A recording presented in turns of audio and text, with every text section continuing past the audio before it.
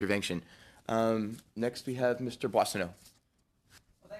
Thanks, Mr. Chair, and I'm looking forward to meeting with the regular members of the committee next week. I mean, if you take a look uh, on our side, it's the Liberal members that are normally at the Justice Committee who are here. There's a change in the political dynamic on the other side. I think Snow delayed our NDP colleague. I don't know what prevented the regular colleagues on the Conservative side from being here today, but we'll leave that there. I think that we, nice to have you here at the committee. It's great. On, in terms of witnesses, uh, it is our custom to have um, this done in camera. And I think it would be important if we're talking witnesses, do you want us to talk in public about how the conversations went between SNC Lavalin and Mr. Singh and Mr. Scheer? Because it was clear? Yes. Great. Bring it Motion, on. motion to concur. Bring it Motion to concur. Yep. Because the speculation from the other side, we're Motion to talking concur. about a downgrade in Mr. in Mr. Fife's article from two anonymous sources to one. And if you listened to the CBC last week with Carol Off, she was very clear in her interview with Mr. Fife when he said there is no link whatsoever between legitimate conversations between the Attorney General and um, government colleagues and the fact that Miss Wilson Raybould's um, cabinet responsibilities changed. He could make no link whatsoever. So anyone who's making that link is exercising in rank speculation. So I will also reiterate that the ethics commissioner is looking uh, into this issue, and the people that you would like to add to this list uh, are perfectly within the purview of the ethics commissioner to um, in, to investigate and to call to account, to use your language. Our job here is to take a look at the substance of the matter, which is clearly the Shawcross doctrine, the remediation agreements, because let's take a look at what you're wanting Canadians to see as the smoking gun. If SNC Lavalin had ended up in a remediation, okay, you'd have something. But guess what? They're going to trial. There's like, are you really serious? you trying to make Canadians make that kind of a link? It didn't work in the way that you'd like the fiction to play out, folks. So I will be voting against this amendment and looking forward to meeting with people next week. Thank, thank, thank you very much. And, and, and just that, Ms. Raid, I certainly, we are happy to have you here. Always happy. Um, I, I, I, I, just want, I just want to bring, I, I just want to bring back the, uh, you know, the, the camaraderie. I think sometimes this, th th- these are hard, you know, discussions, and sometimes everybody's a little angsty, including myself. Um, so, uh, so I think it's good to, uh, to bring the temperature down. Uh, Mr. McKinnon. Thank you, Chair. So I'm listening to a conflation of a, a lot of unrelated matters to, to weave a fanciful tapestry of intrigue here. Um, the fact is, we don't have any real hard evidence of any wrongdoing to, to, to speak of. Um, Mr. Cullen mentioned regarding the witnesses. Um, the people who are alleged to be involved are not on our list, he said. Alleged by whom? We have no one who is who has come forward who who is has self-identified as being uh, privy to the kinds of discussions that that are um, underway here. Who has, as far as I'm aware, made allegations of any individual. So so the notion that um, you know, people who are alleged to be involved. I mean, the, the opposition certainly has made allegations of this kind, but these are sort of self-serving, um, you know, to their position. Um, Mr. Cullen also mentioned that, um, you know, SNC Lavalin made $500,000 worth of contributions. That's very bizarre to me because for at least 15 years, that has been impossible. That's been illegal. So I don't know how or where that, that then they're all illegal, right? I mean, you mentioned 100K as being illegal. These are not, not legal, they, and they, and they need to be, uh, well, they need to be prosecuted by the, by the elections commissioner, right? They were. But, Both, both conservatives and liberals return money to for, for, for this, but Right. but that that being said, we in the last nothing's been alleged for the last ten years. They can't donate now, but let, us move on from from that one. Go ahead, Mr. okay, McKinnon. so uh, I'll, I'll stand corrected on that point. Um, But there's also uh, allegations that um, Ms. Raybould was fired as Attorney General. There's no foundation for that. She went from a, from a, a senior position to another senior position, a senior position as, as a Veterans Affairs Minister, where she's in charge of a multi-billion dollar file, uh, thousands and thousands of veterans who are, are critically important to Canadians. but also as Associate Minister of Defense. She would get briefed on all the matters um, pertinent to defense, to, to, to be aware of our defense uh, posture and our defense matters all around the world. So it's, it's a great opportunity. It's a, it's, it's a, a coup, frankly, for experience. I can't see how any way this could be construed as being fired. Um, but the notion that she was fired weaves back into this tapestry that, that, that the opposition likes to portray that, that there's some sort of intrigue going on here. And I don't think there's any foundation whatsoever for that. Um, so we're here today because of this article that was written by Paul Fife, or Bob Fife and others um, on the 7th, in which they alleged heavy pressure, uh, urging, and so forth.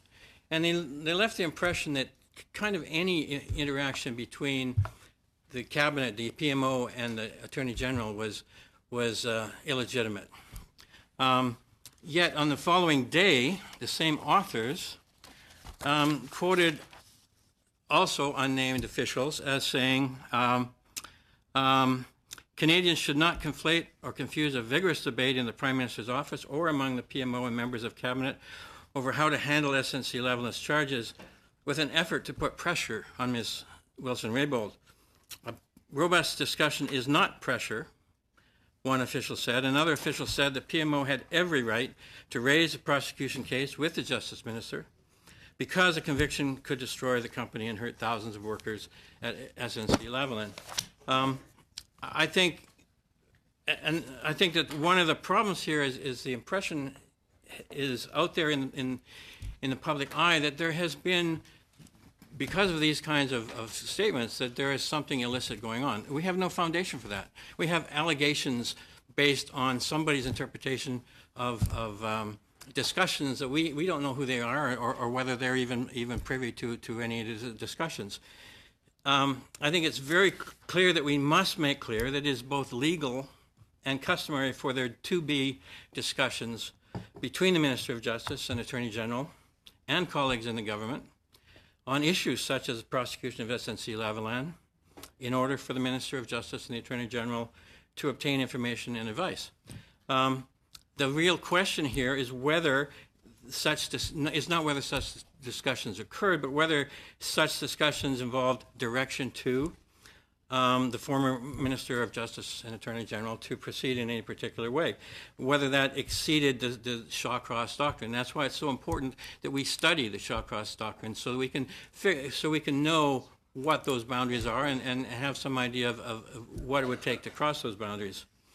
Um, the, the question has been raised whether or not we should even be talking about the, um, the remediation agreement concept.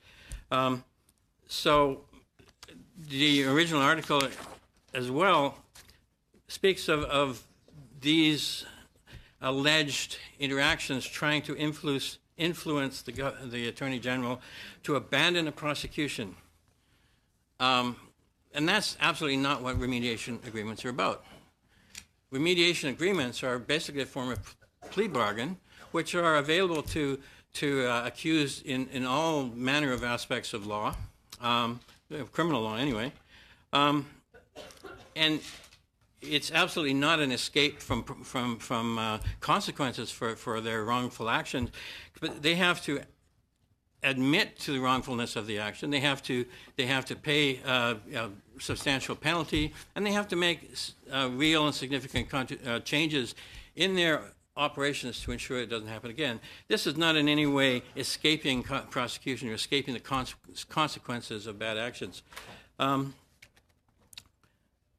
so, uh, on balance, I don't see any anybody who actually is privy to these discussions, who who is alleged to have been making these allegations, um, coming forward. And how can we how can we uh, deal with random people as, as just a, a, fishing expedition to try and figure out whether whether there is any foundation for this or not, um, and then track it down. Um, that is why it is, I think, important that we delve into the, the nature and purpose of the Shawcross uh, doctrine, the nature and purpose and the history, perhaps, of, of the remediation agreements, and and um, I'm very interested to hear from the uh, from the uh, current Minister of Justice and the other men- people mentioned in our motion in regard to these broad issues. And if they if they're able to throw light on other matters, fine, that's great.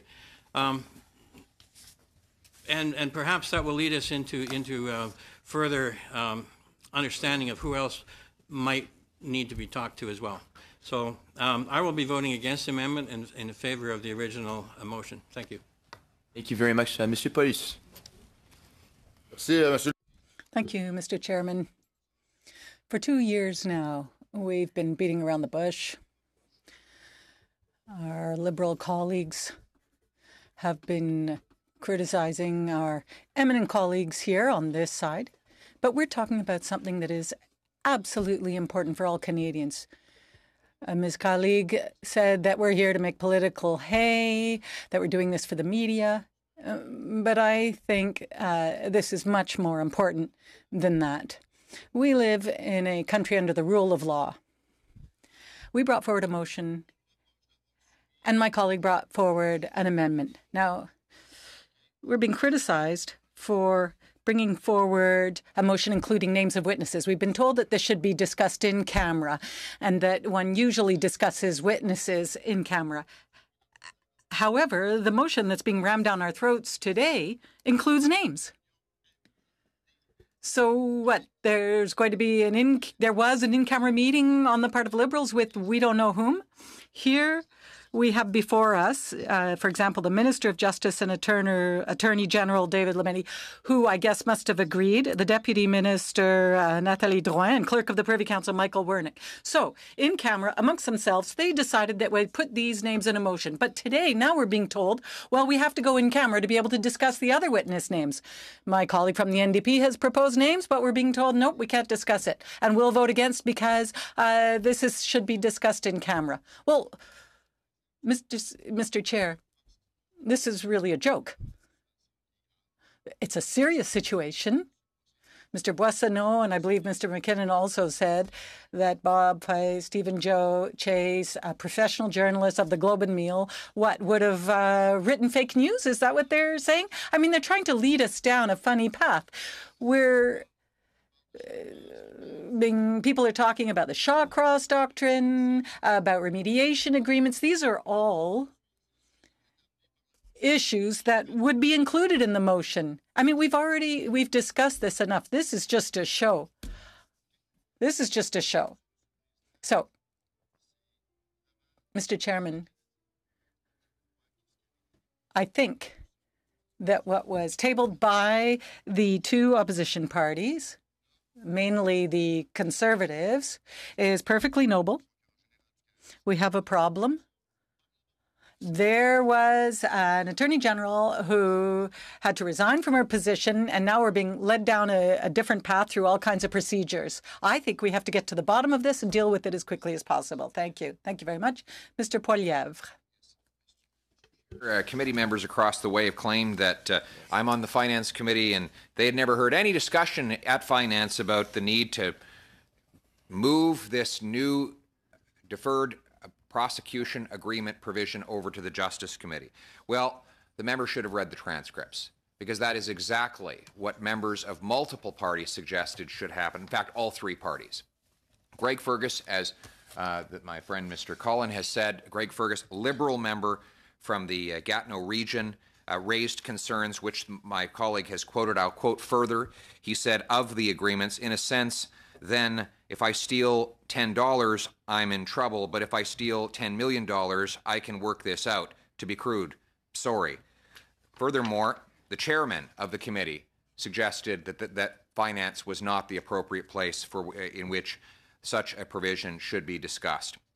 Finally, uh, conservative member of parliament Dan Albas said, and I quote, regardless of whether it was in the budget document, I think that this is not a good provision to have as part of an omnibus piece of legislation, especially to have it in the last section. He goes on, Mr. Chair, I don't know what to say other than maybe we should probably consider hiving this off and sending it to the Justice Committee. Those were his words. Those that was his conclusion.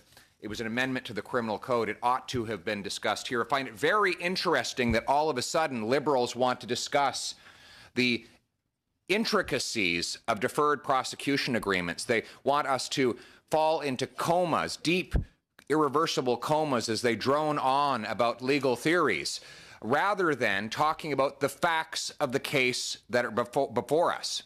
And the facts are that a massive corporate giant with deep pockets lobbied the prime minister's office at least 14 times that we know of. That that the, that, that the prime minister's office and the prime minister himself then raised the issue of a special deal for that same corporation with the justice minister. And then only a month later she was suddenly removed from the position um, in, and fo- following which she wrote a letter saying that she had spoken truth to power it's time she had the chance to speak truth to the people. Yeah. Canadians want to know. The Prime Minister has the ability to let them know. He can allow his members to vote for this amendment to bring all the witnesses, including his former Attorney General, to appear. And he can waive solicitor client privilege because he is the client. If he refuses to do that, and if members of the committee vote against having additional witnesses, they will be voting for a cover up. Because that is exactly what this is. If the members across the way claim nothing that happened in the PMO in the Prime Minister's office was improper, fine. Bring the witnesses before us, have them testify under oath to say exactly that. Put all the facts before Canadians and let everyone decide. Instead, what we get are contradictory excuses. One is they say, we can't talk about witnesses when Canadians are watching. They say those discussions need to happen in secret, in camera, as the parliamentary parlance goes. Funny then that their motion talks about witnesses. It lists witnesses that they would authorize to speak before the committee. If they can put forward a motion that lists witnesses, why can't we put forward a motion that lists witnesses and let's have ourselves a big group of witnesses? The reason they don't want to vote for that is because there are certain witnesses they don't want to hear from right? Certain things that might be said that we don't that they don't want said when Canadian eyes and ears are watching and listening. Those things have to be kept secret. The journalists, according to the government uh, officials, have to leave the room. The transcripts have to be turned off. And nobody outside of that dark room should have the ability, according to the government, to find out what is said. Well, that is by definition a cover up. And these committee members representing the Liberal caucus at this committee have the ability to vote in favor of transparency by allowing everyone to speak. So the question is are they going to help the Prime Minister cover this up, or are they going to help Canadians find out what happened here? Thank you. Uh, thank you very much. It's, it's interesting it, it's powerful, but it's interesting that the narrative is that we were going to not support any study on this issue and we were going to cover up. Now we have put forward, now we would we put forward a, a motion on the study, and now we're covering up as well. But it, it, I, not what you said, I agree, but you were pretty much alone on that one. Um, Monsieur Fortin. Mr. Fortin. Thank you, Mr. Chairman. I've been listening to everyone over the past while. And I have before me the agenda for today that says that we're here to discuss political interference in a criminal prosecution by the Prime Minister's office. Interference allegations uh, have been made about the Prime Minister or a member of his cabinet and the attorney uh, and to the Attorney General. Now, I'm wondering how we can possibly shed light on this without hearing from the person who occupied the position of Attorney General at the time these things took place. So here's what I'm thinking. Would you like us to suspend, Mr. Chairman, or I, I can wait if you're if you're busy? No, no, I'm sorry. I should have been listening to you. Uh, sorry, uh, Mr. Cullen and myself were talking about something else. What was your question? No, I didn't have a question. I'm just speaking about the situation. I apologize. I'm listening. Now, we were asked to come here to discuss political interference on the part of the Prime Minister's office uh, involving the Attorney General. Now, uh, the Liberals, with uh, the greatest of respect, uh, are trying to um, cover this up by deciding that we would engage in a legal course on, for example, the Shawcross uh, doctrine and remediation agreements. I think everyone is able to do their own reading and understand these concepts. But they're also suggesting that we bring forward witnesses who aren't necessarily people who will be in a good position to testify on the issue of political interference. So here are my two concerns, Mr. Chairman. First of all, I'm thinking of the 4,000 workers in Quebec whose jobs are at stake because of the discussions between the Attorney General and the lawyers of SNC. These are 4,000 workers who are going to be the indirect victims, along with their families, of this whole issue. And this won't necessarily be resolved because our prime minister has been a rather amateur in his proceedings with the attorney general, or and, and also because he doesn't necessarily want to waive solicitor client privilege to allow her to appear. If there's one person that we should be listening to, it's Judy Wilson Raybould. I don't see how we can proceed any other way. I was looking at the list of witnesses, but I have I have the impression that I'm getting ready to go on a trip. Uh, but I have no idea where I'm going. Perhaps I'm, i have to pack everything. I have to pack my uh, my fishing rod, my swim shorts. I have to pack all kinds of things, but I have no idea where we're going. But there's a name that keeps coming back over and over again. That's Judy Wilson Raybould, the former Attorney General. And she's the one, she's the one who supposedly would have been uh, the victim of political interference on the part of the PMO. So she has to come before us and tell us who did what, who asked her to do what. And if she can do that, then perhaps we can come up with more relevant witnesses. In my opinion, in fact, the liberal uh, motion is just a red herring.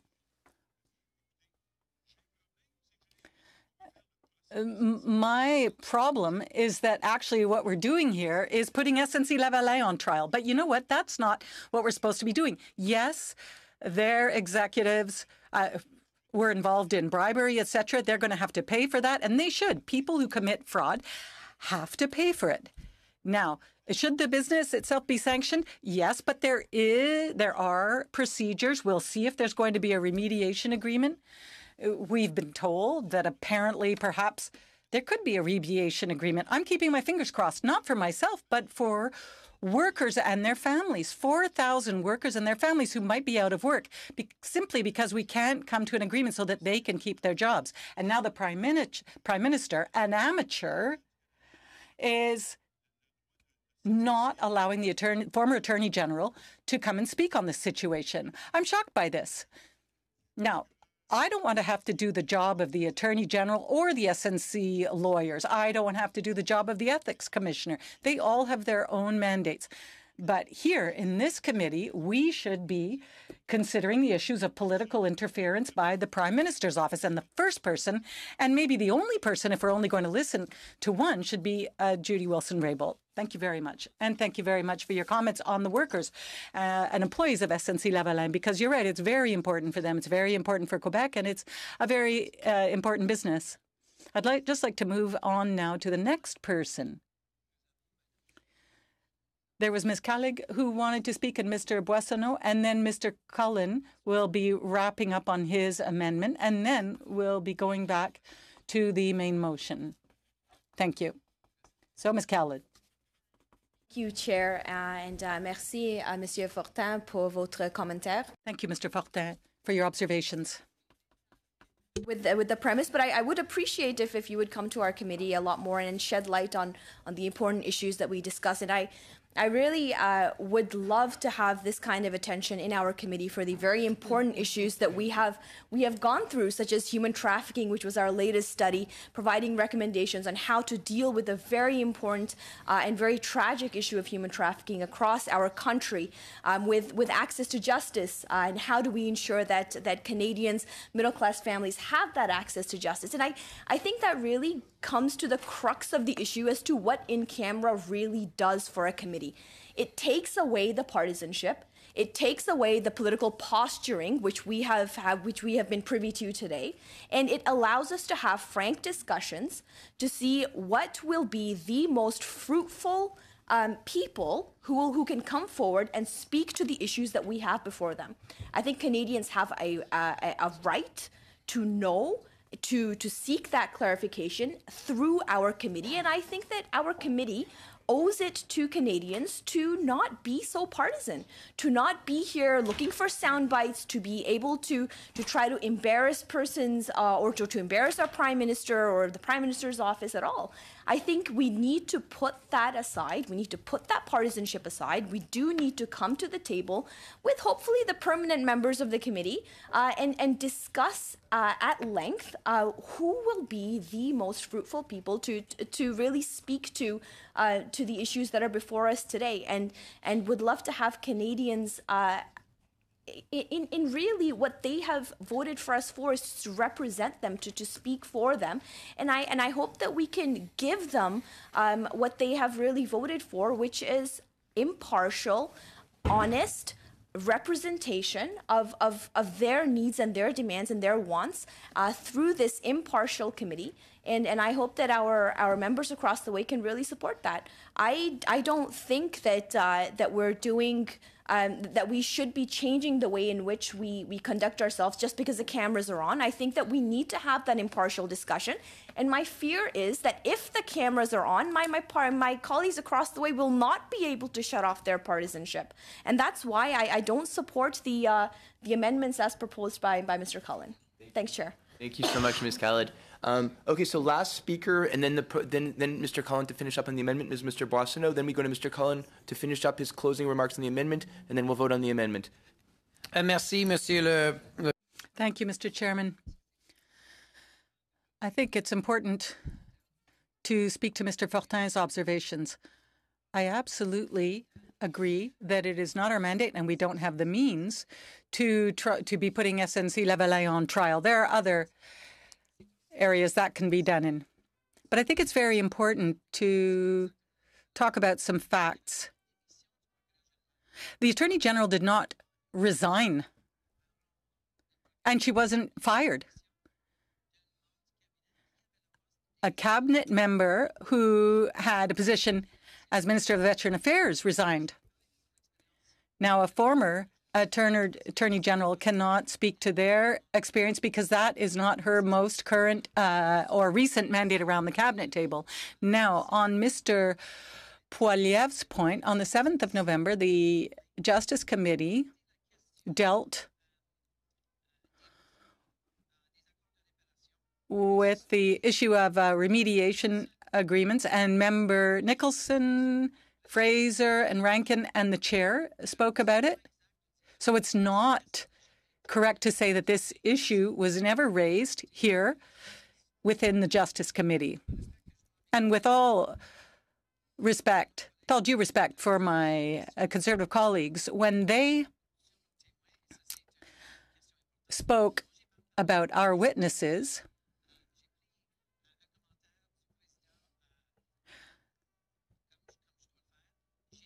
I checked and Mr. Lametti will appear before our committee. He said in public that if ever the committee called him to appear, he would. Now, no one in the leader's office called those witnesses, but given that Mr. Wernick and Ms. Drouin are uh, civil ser- servants. If they are called before a committee, they appear before the committee. It is common procedure to make those calls. So I have to say uh, I misspoke in that case, and I apologize. Thank you, Mr. Boissonnault. I'm now going to move, give the floor to Mr. Cullen so that he can uh, speak to his amendment. Amendment to combine um, the interests of hearing from the relevant people. So, so far I've heard from Liberals that they're not interested in inviting uh, Ms. Jody Wilson-Raybould to talk.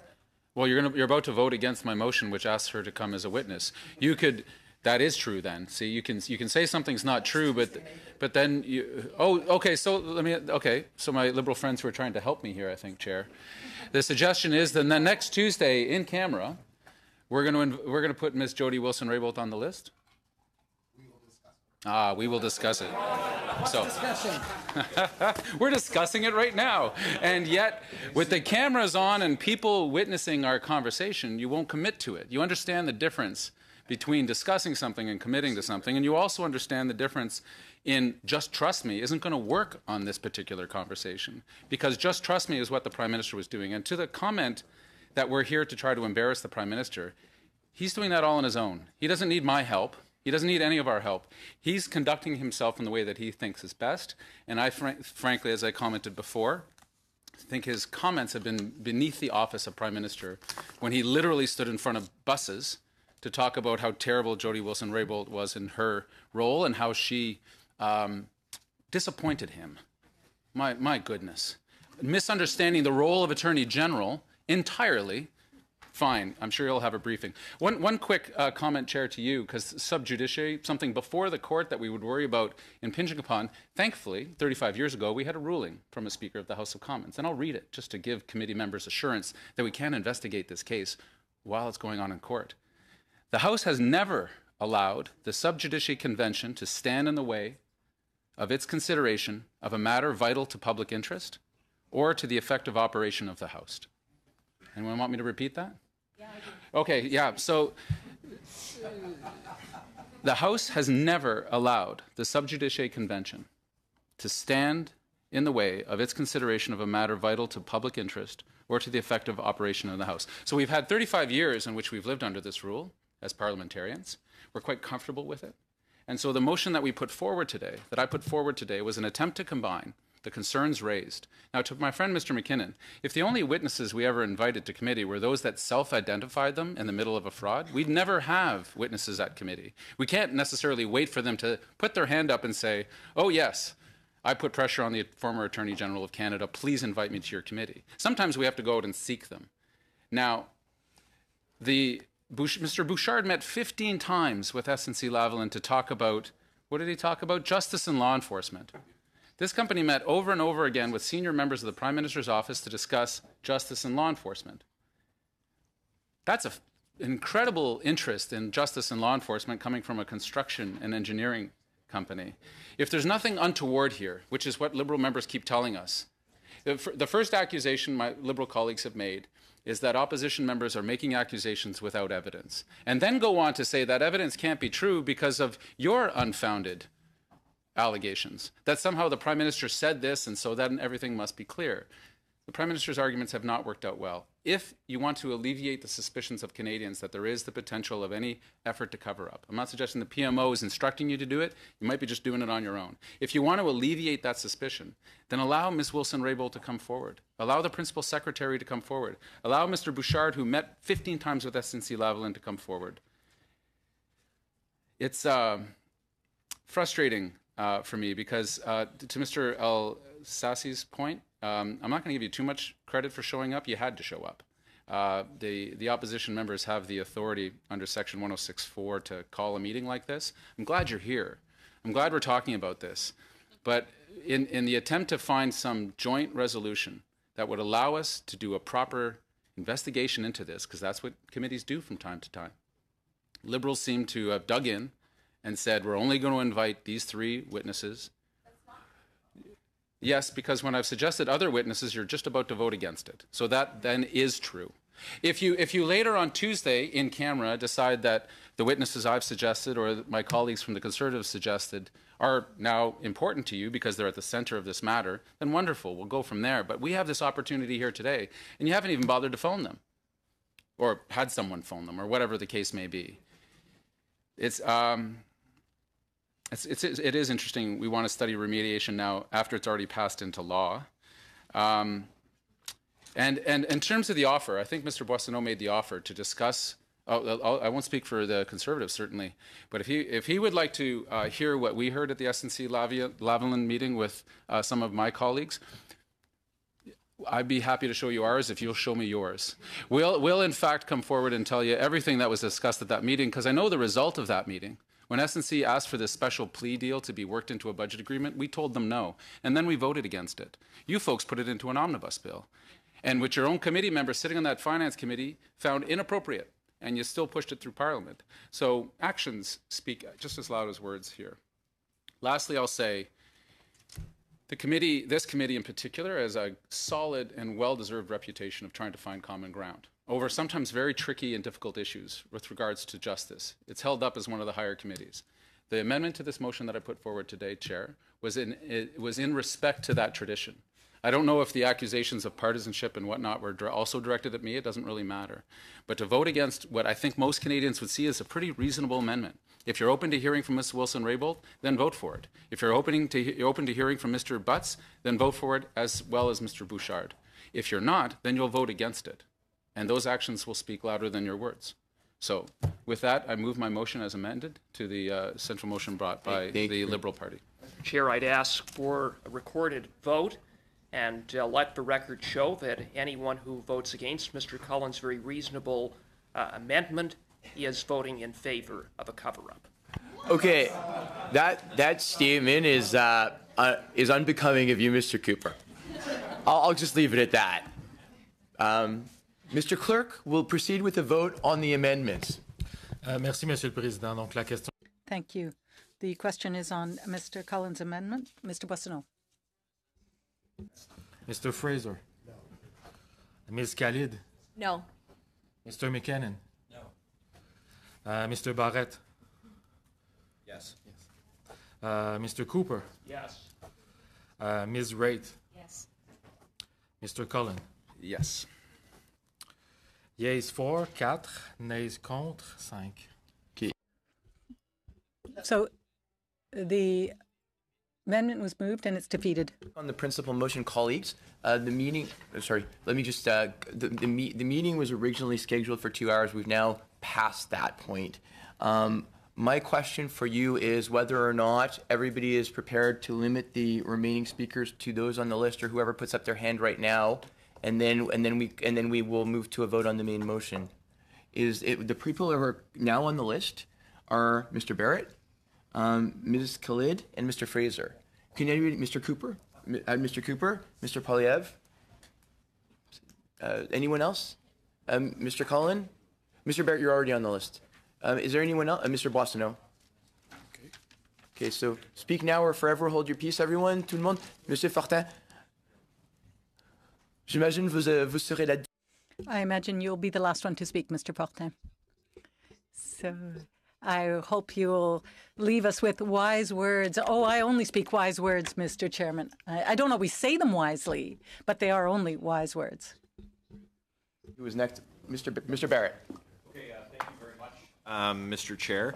And so the opposition parties put forward uh, a motion to be considered here today, and uh, two hours and 15 minutes into the meeting, it, it's uh, not the motion that we're discussing. As is your prerogative, you recognized uh, a Liberal member of the committee and the motion that they had put forward. And as a new but regular member of the Standing Committee on Justice and Human Rights, um, and with and with a, a consideration to um, your comments at the outset about the common ground that members of this committee have traditionally been able to uh, to find in in furthering uh, the business uh, and and the good work of this committee, um, I would have hoped that with the um, with the motion put forward uh, by the by the Liberal members, um, and at the outset stating that they were looking for you know some common ground to be built around that, that the very um, the very reasonable amendment put forward by uh, by Mr. Cullen would have been given more consideration than just outright refusal, which um, which is uh, essentially what happened. This this was a, a, a clear uh, cut right down the, the middle of the room as far as uh, support for and against. Um, however, there still is an opportunity.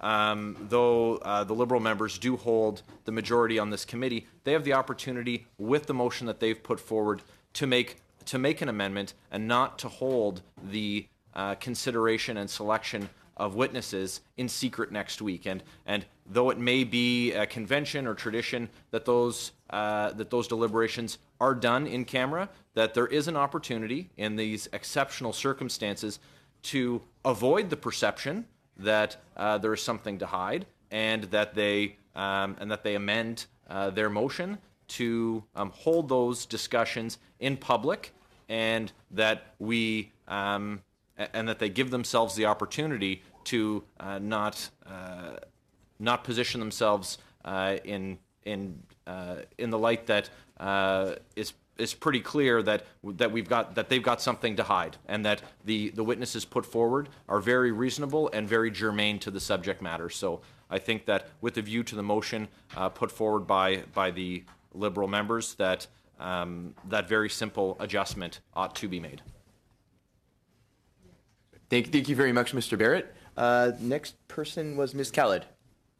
Uh, thank you, uh, Chair. I, I, I, really think that uh, that we must come to a decision and, and uh, have a vote on uh, on on this uh, on the motion before us, which I think really speaks to what is the substance of what uh, the parties opposite and and what uh, uh us uh, impartial members on the Liberal side, as well as Canadians, uh, really hope to to look into in in, in, in understanding what what the nature of the relationship is between the Attorney General and and and government and the Prime Minister's office, including cabinet ministers, etc.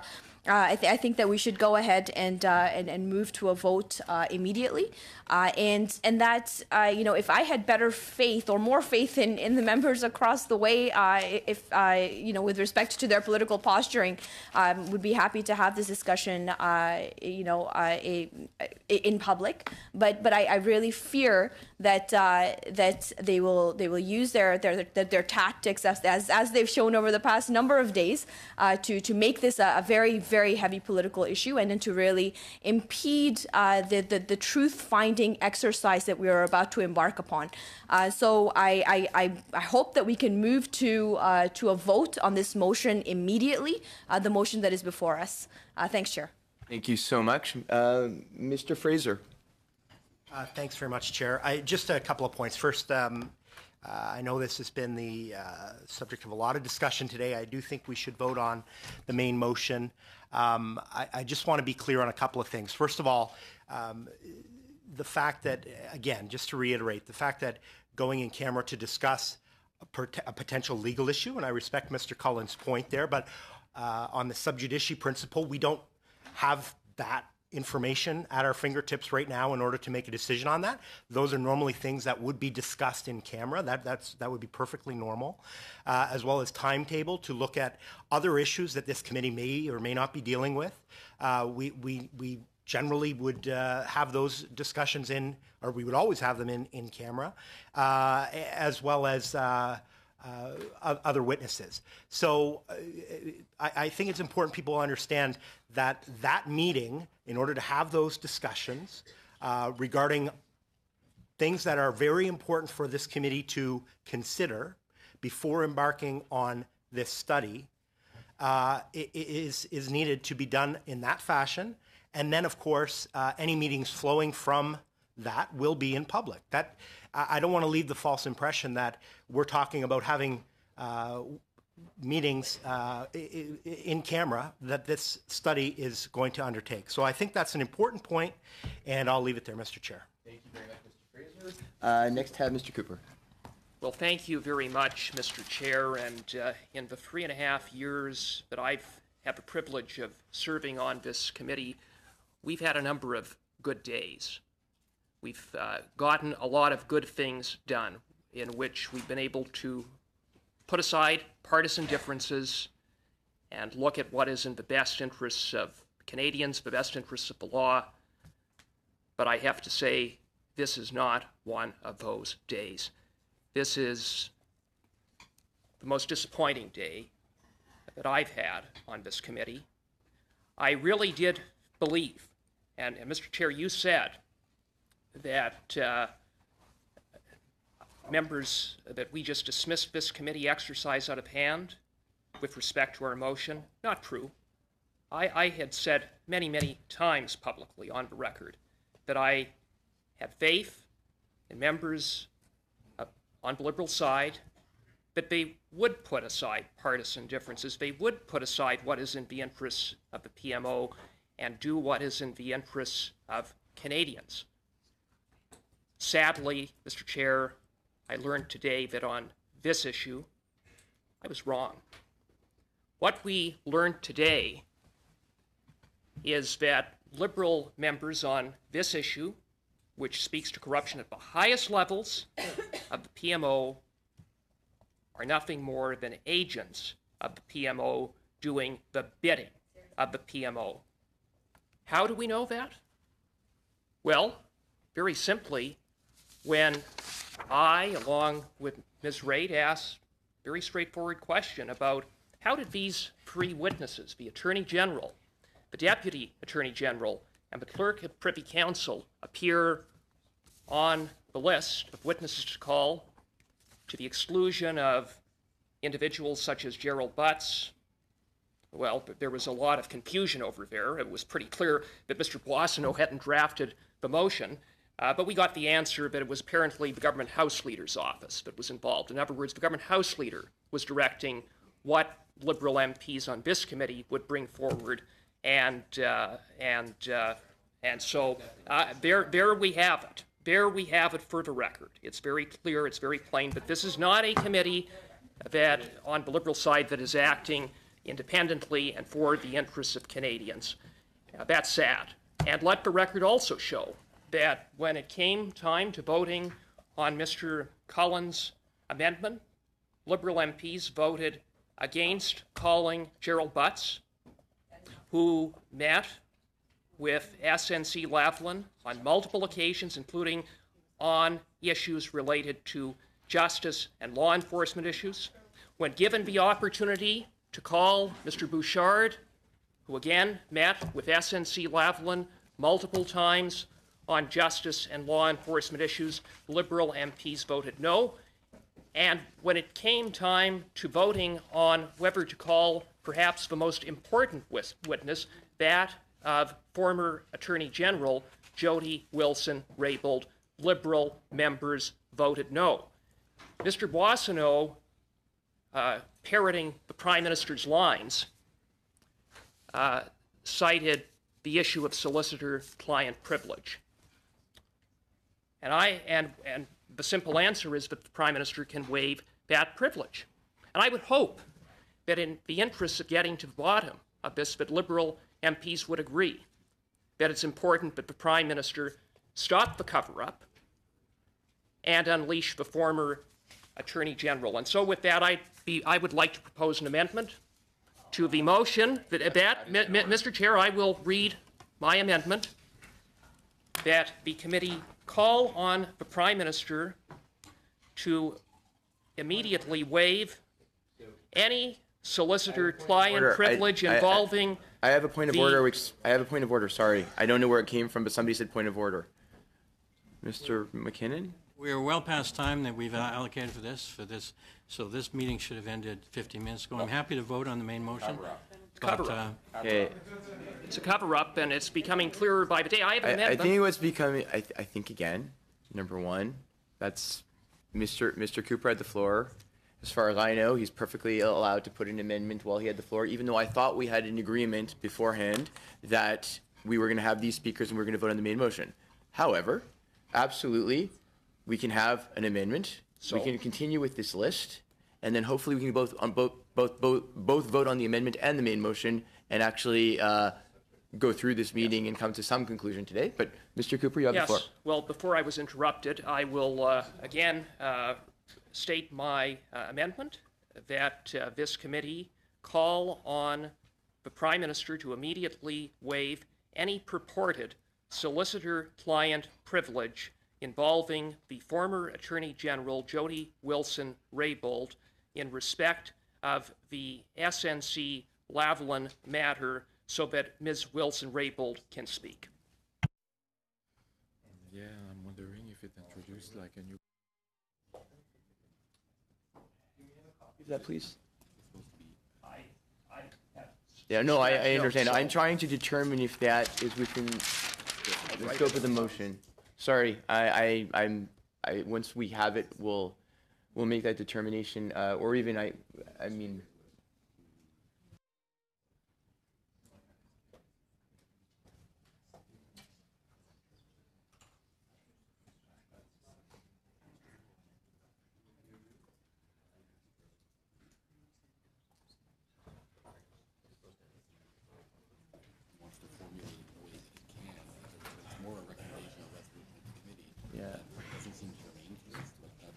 Well, it, it, it's. Yes? Yes. So the reason that this is in order is because the one of the witnesses may, of course, be Jody Wilson Raybould. She is uh, the she is at the center of this matter, and for her to testify in this committee, uh, that it would be good for her to have legal certainty that she is allowed to speak freely. So this amendment is just simply a friendly amendment to what the government has put forward. Um, it, it uh, and I, I don't see this one. Uh, not, not only not only not only is it uh, consistent with um, having an, uh, hearings, but it is consistent with the, the, the intention of the original motion. So it is in order. Again, you're, I under, I understand the link to the potential testimony of a potential witness before the committee. However, I'm, I'm still having, I just I need to see how it's, how it's formulated and where in the motion it is. So I'm going to reserve judgment for the moment on whether or not it's receivable. Um, You can go to Mr. Poilievre. well, we're going to, Mr. Poilievre, were you planning to speak to that issue or were you planning to speak to the, I can speak to the main motion. Okay, well, why don't you speak? To, why don't you speak to me so we don't slow you down, and then I'll let you. I'll, I'll try to rule while you, at the end of that, and I'll give you a chance to go to. Good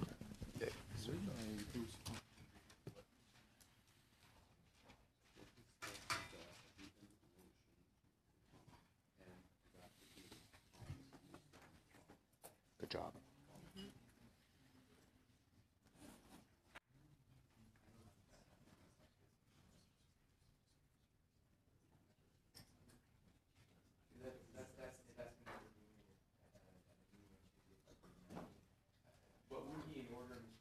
And I'm, I shouldn't be telling you what I think would be, but what would be in order if, if you suggested that that that, that at that meeting that subject be introduced.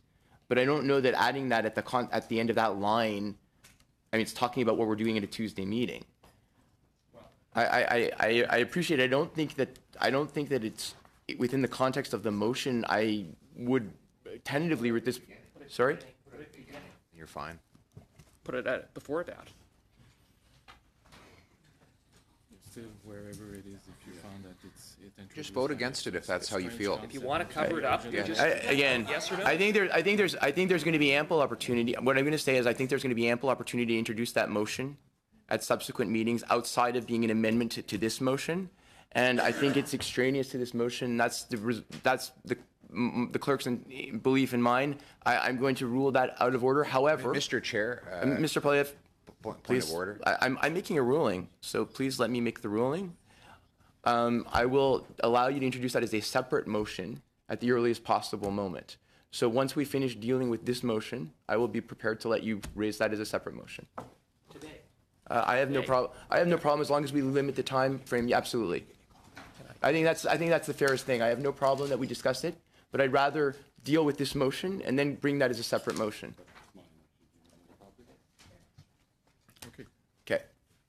Mr. Poilievre. Thank you very much. And uh, listen, I know that the uh, the government uh, members on this committee uh, would like uh, to cover this matter up in a manner as inconspicuous as possible. That's why, of course, they're asking for the discussions on the future study to go to, to happen in a secret meeting. And I have heard them, they're heckling, and so are their supporters in the gallery heckling whenever we point that point out that fact.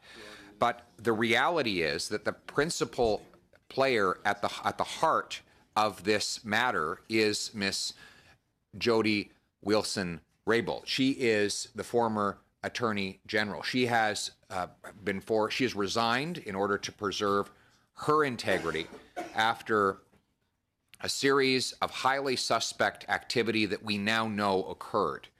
And that activity, of course, is 14 meetings between SNC Lavalin and the PMO, meetings between high level PMO officials and Ms. Raybould, including discussions involving the Prime Minister himself, all regarding the possibility of a special deal for an accused, a large accused corporate criminal. And she has, in a highly unusual move, resigned from cabinet, said that one of the reasons why she believes she was originally moved from her position is because she spoke truth to power. All of the, the only point in even holding these discussions is if we can hear from her. But yet the prime minister is silencing her. He's using his legal authority to prevent her from speaking because he's afraid of what she has to say. So, what conservatives are asking, what Canadians are asking, is let her speak. Now, the Prime Minister is the client. Client can waive solicitor client privilege. Um, I, I, don't even know why this is a matter of controversy for members across the way. If they want the truth to come out, then they would be willing to, with, with, without hesitation, to support uh, a call for the Prime Minister to do that. And so I conclude my remarks with, uh, with a motion that the committee call on the Prime Minister to immediately waive any purported solicitor client privilege involving former Attorney General Jody Wilson Raybould in respect of the SNC Lavalin matter so that Ms. Wilson Raybould can speak. Thank you. Thank you. We are currently dealing with another motion, so you can't move a motion at this time. We're debating an existing motion. Was it I- like an amendment? No, he's not proposing an amendment. He's Okay, proposing okay, a totally new motion. You can't, you can't, I, I already ruled that it would have been out in order as an amendment, but that I will entertain it as a new motion following the discussion of, on this motion and the conclusion of the discussion on this motion. But I believe with unanimous consent, uh, we can allow it to go ahead. Do I have unanimous consent? Yes. Yes. Okay, well, we do not have unanimous consent. Note that members of the Liberal side refused to provide unanimous consent for this motion to go ahead. Yeah, as, as, as a normal matter, of course, yes. Um, oh, uh, okay, uh, we are now with Mr. Cullen. Huh. I like the introduction, Chair. That was very enthusiastic. I always do an upbeat introduction for you. Oh, wow. I'm blushing now, now. Rankin gets ovation, so but you it, get it, it. it feels to me, uh, I, I buy my kids one of those, you know, connect the dot books. You, you, you follow one number to the next. But for anybody who's ever done it before, you, you, you flip the page and you can clearly see what the thing is. But little kids get the enjoyment of actually connecting all the dots and then realizing at the end what the picture is. It, it's, it does baffle me that my liberal colleagues have seen the events of the last six days and say, clearly there's nothing untoward here. Where every Canadian, many, many former attorneys general, many law experts have told us that obstruction charges are brought with less evidence than what we've seen already in this because the, the gravity of what we're talking about is so severe. I appreciate my friends talking about their independence, talking about the need to reassure Canadians that everything is fine. The best way to do that would be in the most transparent manner possible. We, we cl- clearly know that Ms. Wilson Raybould should be invited to this committee to tell us from her perspective, given the limitations that the Prime Minister's privilege puts upon her ability to speak, and, and Liberals just voted against it. Don't, don't keep saying that you didn't when you just did. The facts, you're entitled to all your own opinions, but not your own facts. And the facts of the matter are clear that we just offered to invite Ms. Wilson Raybould to the committee, and now we're back to this motion where the current Attorney General has already publicly said he doesn't believe there's any evidence to uh, allow an investigation, and has also said that he hasn't spoken to Ms. Wilson Raybould at all or anybody else that's involved in the allegations that have existed in the newspaper. So to, this is this is as as one pundit has said is a, is a bird box investigation. You're you're you're looking without looking by intention. Let's not place a blindfold on the committee and then say we're doing the good work of the public. Let's not put these limitations down and refuse the principal actors in this play and suggest that we're somehow doing our best due diligence. That's just not true. You can, you can justify it however you want and pacify yourselves, but that's clearly not what's going on. We came, I came today with the clearest intentions to find some space in between what the Conservatives had proposed, a more exhaustive list, frankly, which may have been actually more complete and satisfying. And then we saw, without consultation, the Liberals come forward with a very, very limited list of witnesses, some of which have already told us that they already think nothing untoward has happened, and then the potential of a very exhaustive study into some things that we already know, for example, sub judice rules. I can read the Speaker's ruling again if my friends would like, as, as a, an attempt to, I hope not delay justice, because when you delay justice, you deny justice. We know that. This committee better than most. And it feels to me like every scandal I've ever watched, it's the incident itself, and then it's the attempt to hide from any sort of responsibility that is sometimes greater than the initial incursion. And Canadians don't stand for it. And, and I know none of my colleagues were here during sponsorship or any of those days, but the lines from Liberals sitting at tables like this said there's nothing to see here. There's nothing to see here. Nothing untoward has happened. I believe the Prime Minister when he said no money went to special interests in Quebec during sponsorship. And that just wasn't true. So it's disappointing. I know I'm not a uh, standing and permanent member of this committee, but knowing the work that you've done, knowing Mr. Rankin's contribution, we came into this meeting with hopes uh, that has now become a faint hope. That next Tuesday, in camera, behind closed doors, suddenly Liberals will believe that hearing from Jody Wilson Raybould, hearing from Gerald Butts, hearing from Mathieu Bouchard and others that met extensively with SNC Lavalin to talk about criminal affairs will suddenly happen. I hope it does, but that hope has become much fainter today. I'll be opposing this motion because it doesn't do what I believe this committee's job and responsibility is, which is to work on behalf of Canadians to put some light on this sordid, sordid affair. Thank you, Chair. Uh, thank you very much, Mr. Cullen. Uh, Mr. Fortin. Mr. Fortin. Thank you, Mr. Chairman. I'm not going to repeat everything I said earlier, but obviously uh, I agree with the amendments that have just been brought forward. You know, we can't do this kind of work without them.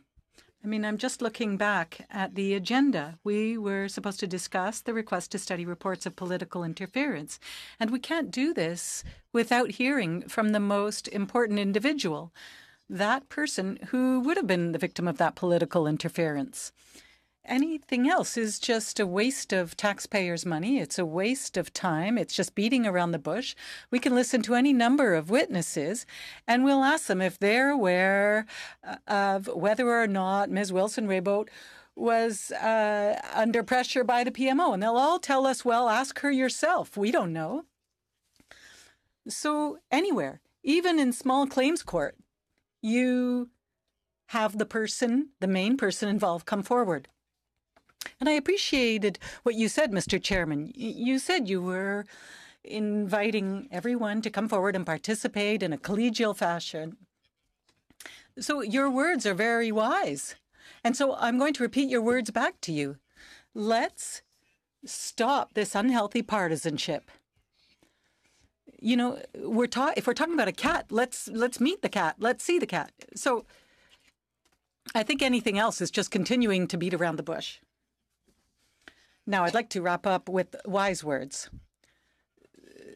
So I'm going to say that I did like Mr. Boissonnault's suggestion that I come here more frequently. And so I'd just like to point out that the Bloc Québécois would be very happy to be uh, recognized as a full-fledged participant in your work. We'd be very happy also to be acknowledged in the House.